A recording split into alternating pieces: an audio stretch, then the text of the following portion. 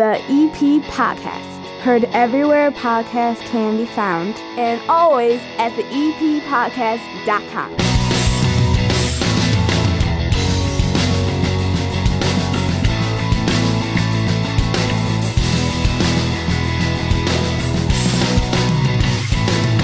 And belly on up to the nine foot homemade oak bar. Pour yourself a cold one. This is the EP podcast. My name is Chris Lanuti.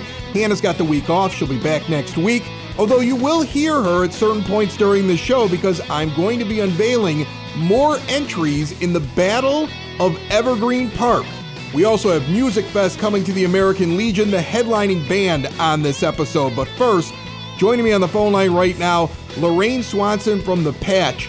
If you would have told me after the tornado sirens midweek last week that that wouldn't have been the biggest story in Evergreen Park, I would have shook my head and said, Are you kidding me? Evergreen Park police received an active shooter call at Mariano's in Evergreen Park. They responded as you do to a call like that. Upon arrival this past Thursday morning, they found tragically a 21 year old female by the name of Jaylene Flores shot dead by her boyfriend Armani Henry, also 21 years old, who had fled the scene. As this was happening, it was all over social media. My neighbors were talking to me about it, and there's been so much written about it in the patch. That's why we have Lorraine joining us.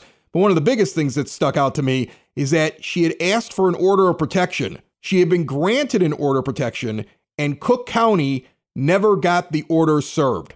And trust me, that happens far too often in this county. Lorraine Swanson on the EP podcast to kick us off. How are you, Lorraine?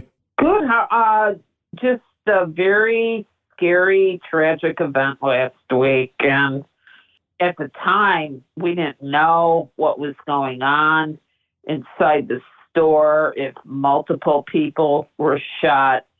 It, it was just this poor uh, young woman who the in bond court they said he had sent her 124 texts. Um, he had confronted her Wednesday in the parking lot. You know, uh, apparently an AirTag was found on her car, and like uh, Monday, and a family member removed it. So he went over there on Wednesday Wednesday to uh, confront her after work about why did you remove the AirTag? Well, how dare she? That little piece of information makes the story even crazier. He's using a tracking device where he can track her car on his phone. That's what an AirTag is.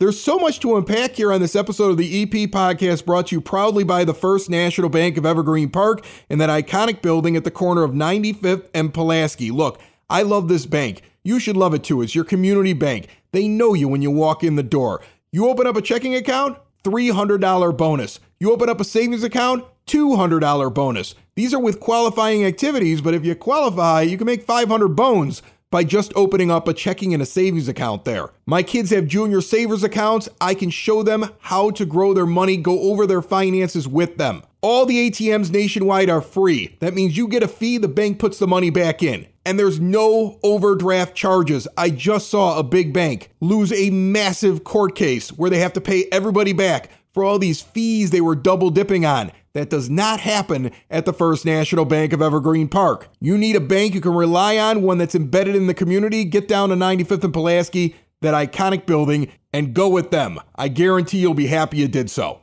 Now, Lorraine, you covered this extensively, and the thing that sticks out to me that kind of got me was the idea that this young lady asked for an order of protection from the courts. The courts granted an order of protection, and it was never served and eventually expired. And people who aren't familiar with how this works, let me tell you about my 10 years of experience working for Cook County as a dispatcher and the personal experience I have had with people close to me who have had to go out and try to get an order of protection and had to jump through hoops and how hard it is to actually get the thing served so they're actually protected. A lot of these orders don't get served. I don't know exactly what the reason is for it. I have somebody very close to me who tried to get one within the last year, had the address, they went once, didn't find the person, they stopped going. Multiple court hearings to continue to extend it. Sheriff's Department never serves it. None of the paperwork ever makes it back to her. The whole system is a mess. Imagine if there would have been an order protection and it was active. It had actually been served, and he shows up looking for that air tag that was on the back of her car, and the police come to the scene and lock him up. Thursday may not have happened the way that it actually happened. And you miss it in the middle of the tragedy, but somebody has to ask why the sheriff's department isn't serving all of these orders. But trust me, you think you get this order protection and all of a sudden everything's going to be fine. Unfortunately, that's not how it works here in Cook County. I I don't know why. I don't know what it's like in other parts of the country. She had worked at uh, Amazon Fresh in Oak Lawn, uh, just over the border, across Pulaski, and there was an incident in April where it sounds like he accosted her, uh, or that's what the police said, and she filed a complaint against him.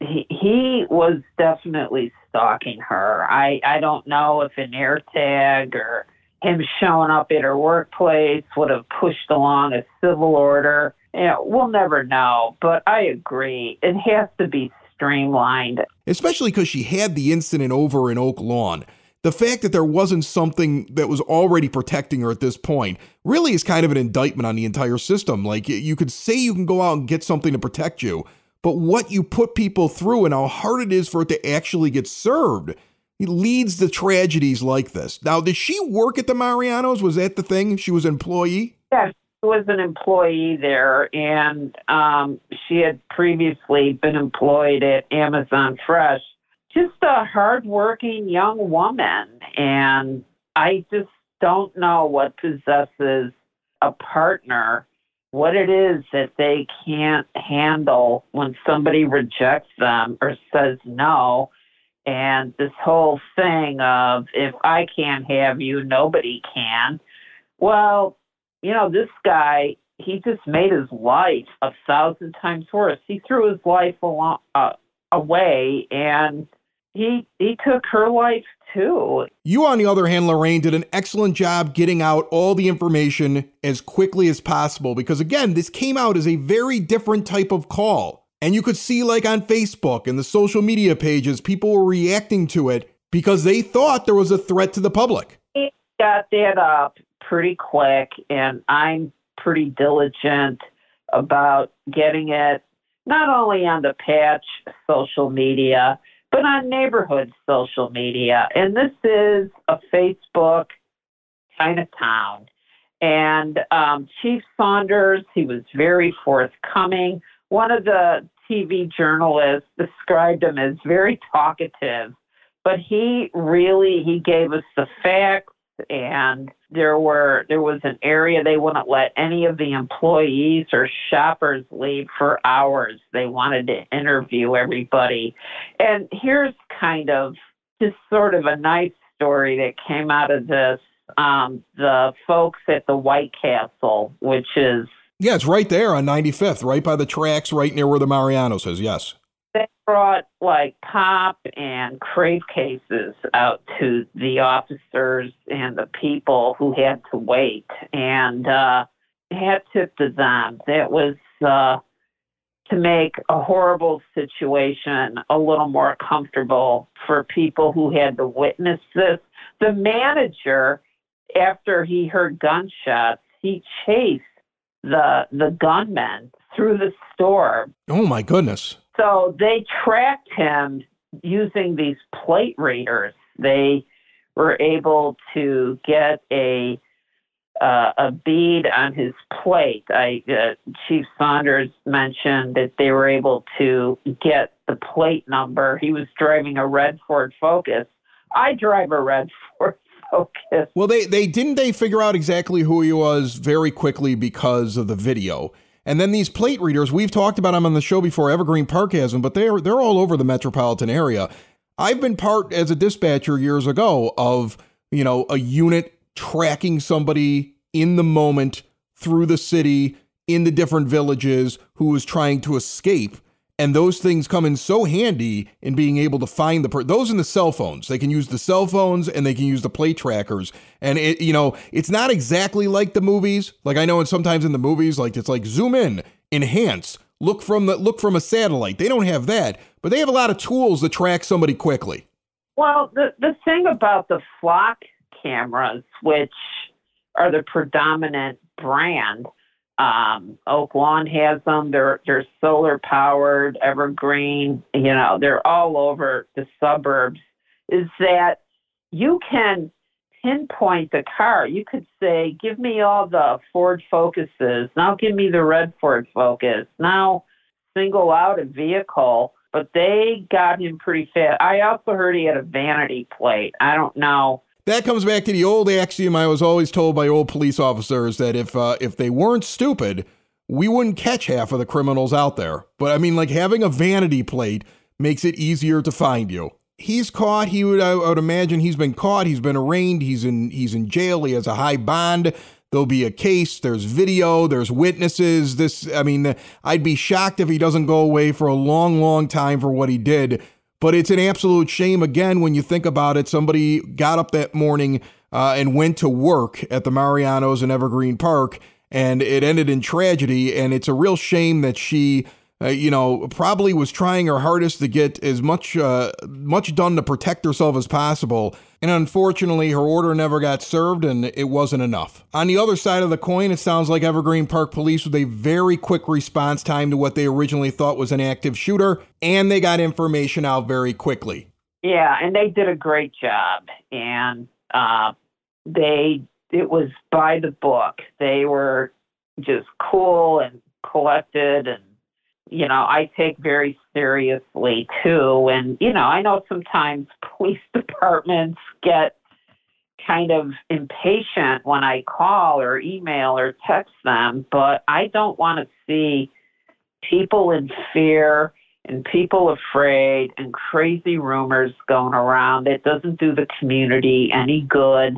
No, it definitely doesn't. Thank you very much, Lorraine, for covering it on Thursday and throughout all the way through today and probably beyond. Over on the patch, you can get more over there. Lorraine, thanks for joining us here on the EP podcast. Yeah. Well, thank you, Chris. Building relationships, supporting the community, and service. These are the things that Country Financial stands for. They're more than just an office you may pass by as you drive through Evergreen Park. They're neighbors who lend a helping hand and support the fabric of your community, including charitable organizations, sports, financial education, and civic organizations. And since Country is already your neighbor, they want to get together and chat. Call your local Country Financial representative, Mike Thauer, today at 708 425 1559 to talk about the things that are important to you and how he can help you protect them.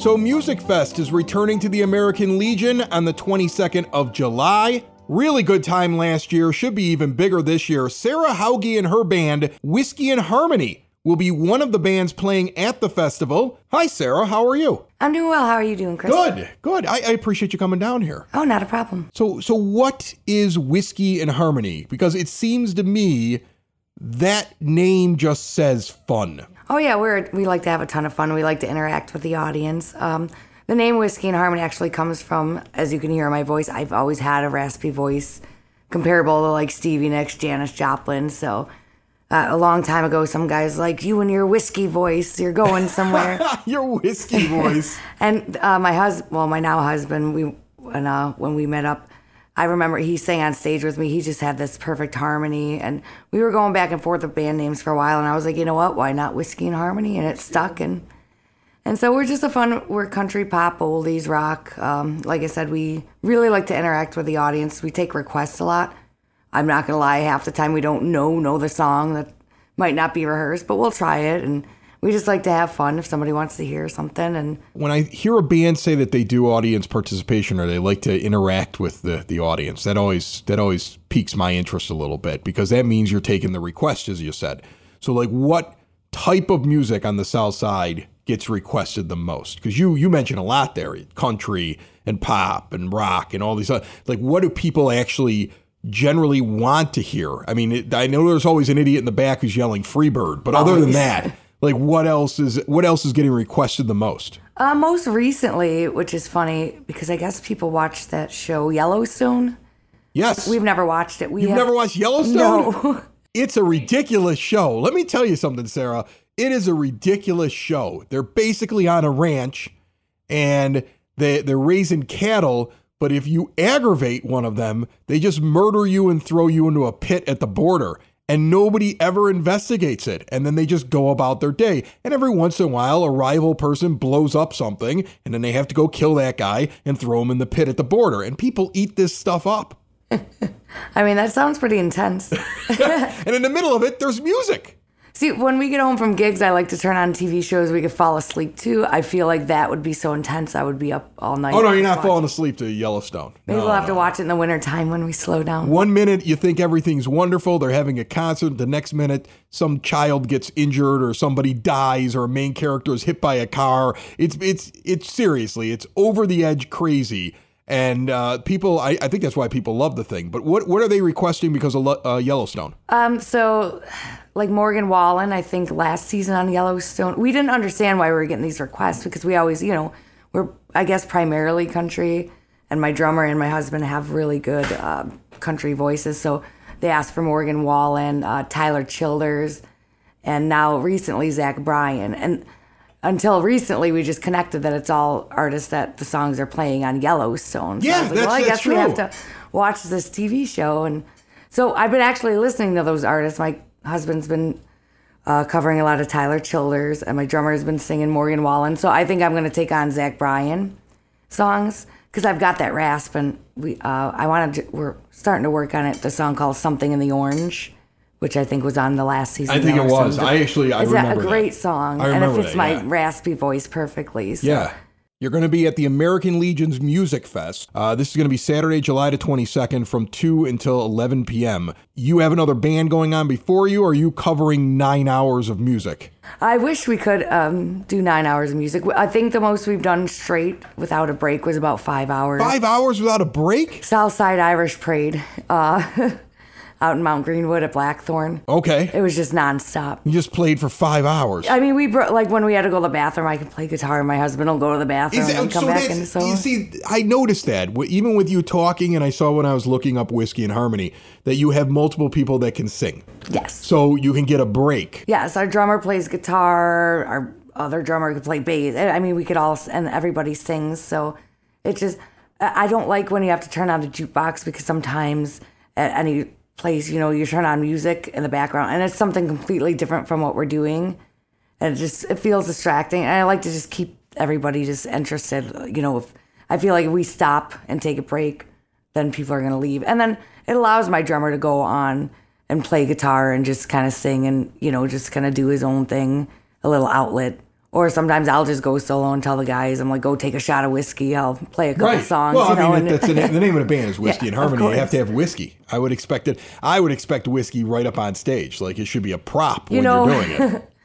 We've had a bar to just give us a bottle. It, it didn't turn out the way that you, well, it turned out the way that you think it would turn, out. Turn out so- as you expected it to Yes. turn out. Yes, So- yes, I can understand that. That we've makes had we've had some fun. when you're booking gigs around the South Side, when you're doing something where you can cover a wide array of things, is that just easier for you guys to get gigs? Do you find that as as a as a positive for you, or do you find yourself basically like you know we only end up playing these same three or four places because they love us? Like, what is it like booking when you're that kind of a band? Um, I think that we get a lot of private events because of our interaction, and a lot of times we get requests too. And if it goes over well, even the first time, or you, you know, we're just kind of like, you know, we should add this to the list, and it just makes us more diverse. And so, like, somebody can book us, and we've done it before because of all the quests and all the songs that we know together. You know, we could do a all '70s set, or we can do an all '80. You know, we can do all country. So I think that makes it because of our country pop, oldies, rock, how I label it. I mean, we could fit in anywhere. So it, I think it does give us a good chance of getting more gigs just because of how versatile we are. Will you have a set list for Music Fest, or will you will you have like a, a set first couple of songs that you're like these are the ones that always get people going? Like how does that? How do you approach something like that? I usually start with the first few songs um, that kind of warm up my voice. Okay, You know, just like easier ones, a couple in the key of G. It's a little bit, you know, Something just simple. right in my regular Right. range. And then I, I don't make set lists because I feel, I mean, obviously we don't print them, I can put them on the phone, but we never stick to it. So it's just time consuming. And then I get aggravated after the fifth song. Somebody's already like, oh, you know, I saw you guys before. Can you do Stevie Nicks? And I'm like, well, that's later on the list, but I guess our set list is the audience. Your set list is the audience. I, I look around and I can usually get a pretty good idea of what kind of music they want to hear. So Who else do you have playing before you? uh, we have my friend Paul Sartori. His band is called Polly and the Shakers. Uh, they're on Facebook if everybody wants What, to look what do they up. do?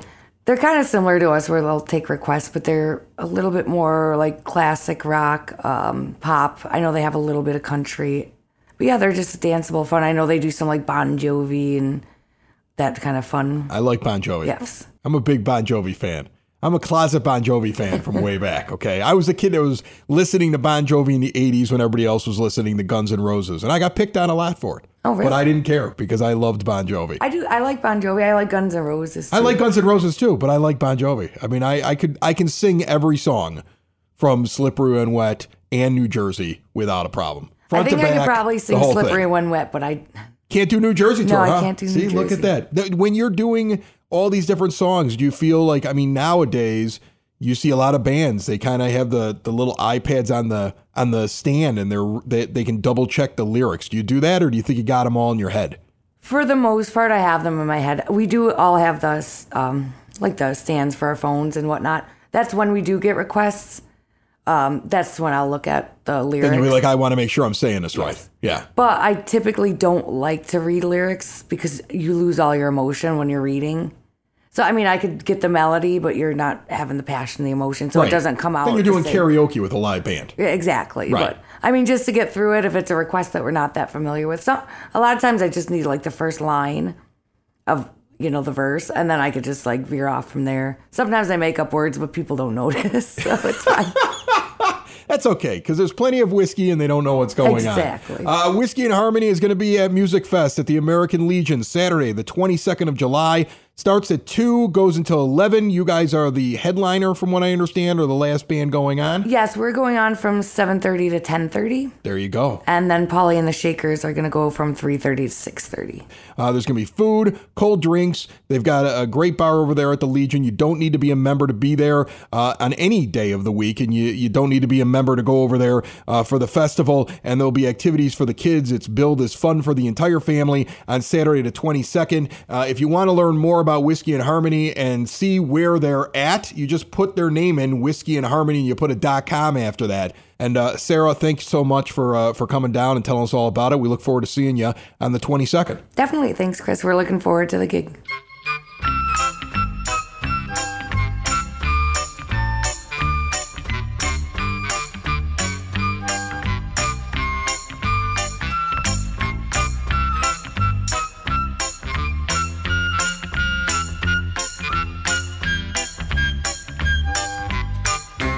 It is now time for your EP podcast, Word on the Street, brought to you by the brand new Spoken Vine Wine Bar and Bottle Shop on the northeast corner of 95th and Kedzie.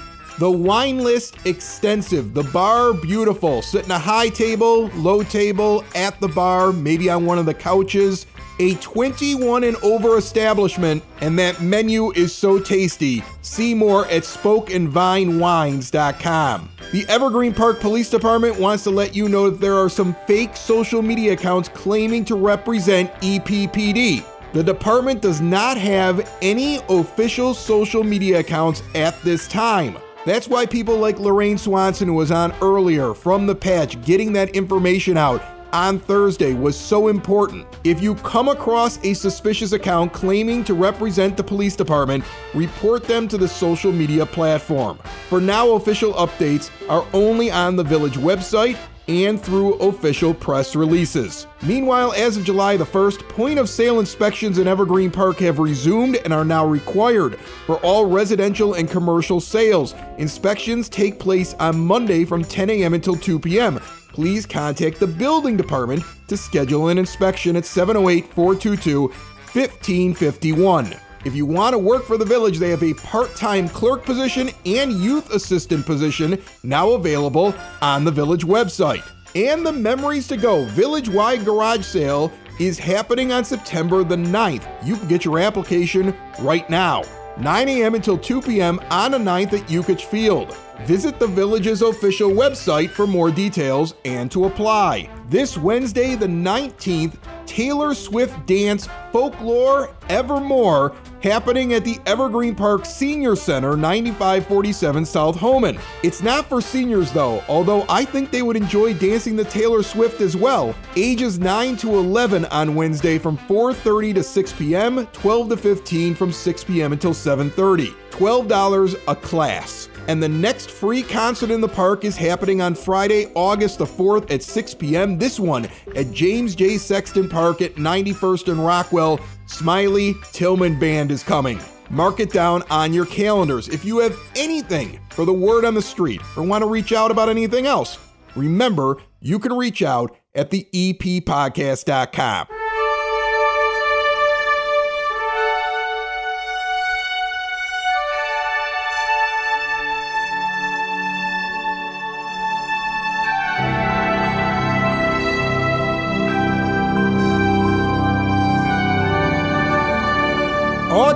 1st begins the first annual Battle of Evergreen Park. This is something we've been talking about all summer long. If you check out the live shows when we do them on Thursday nights on YouTube and through Facebook, you've heard me talk about this even more. The places we go all around Evergreen Park to eat, drink, and be merry with the rest of the community pitted against each other in a grand tournament to see which place is the ultimate place to visit here in Evergreen Park. Already announced to be part of this 18 seed tournament in no particular order. Baracos, Rosangelas, Chai Tung, Porter Cullen's, Tavern in the Green, TT's, Cravings, and add to that list two places that you've already heard about on this episode. The home of Music Fest, this Saturday, July the 22nd, the American Legion. Put him on the list.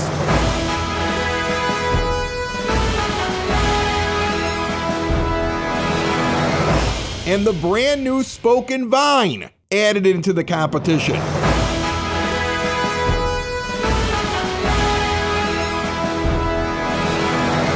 I stopped by there recently. Can the newcomer make a run in the tournament that kicks off on August the 1st? Here's what they had to say about their new spot at 95th and Kedzie.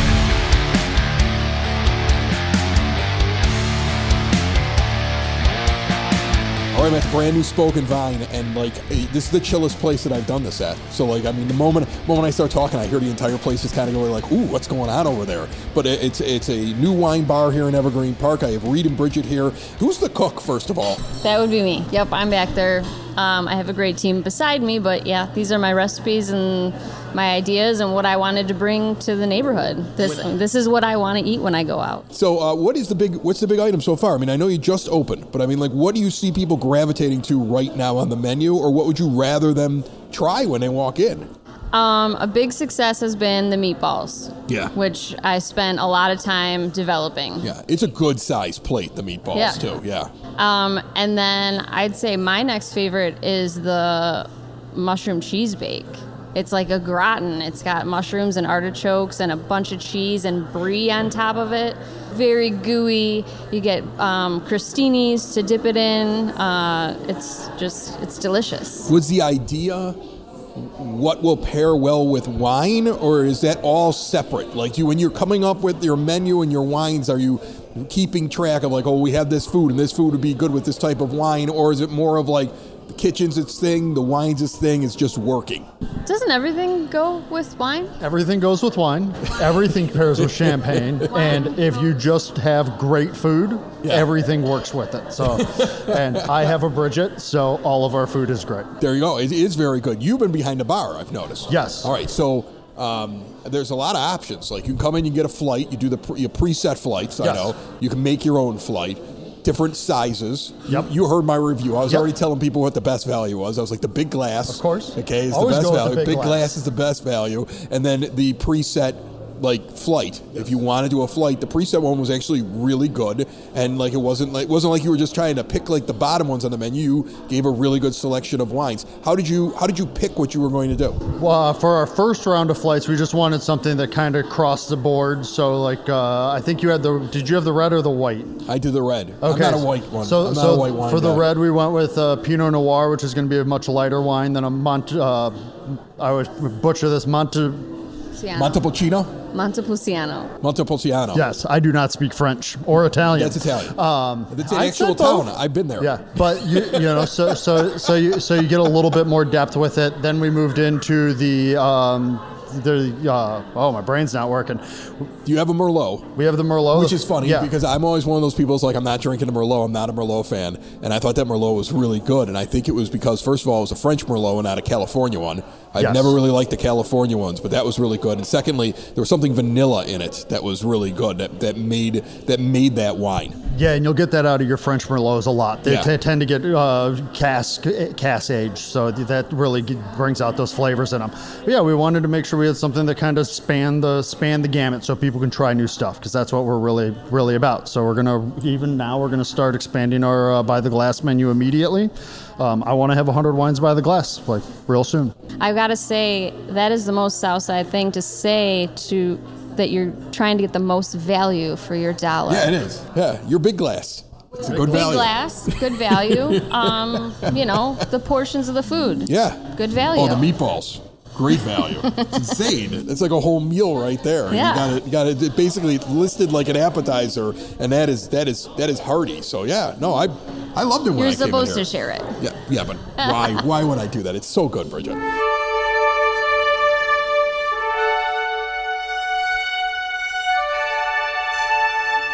The EP Podcast Battle of Evergreen Park brought to you proudly by SidSauce.net.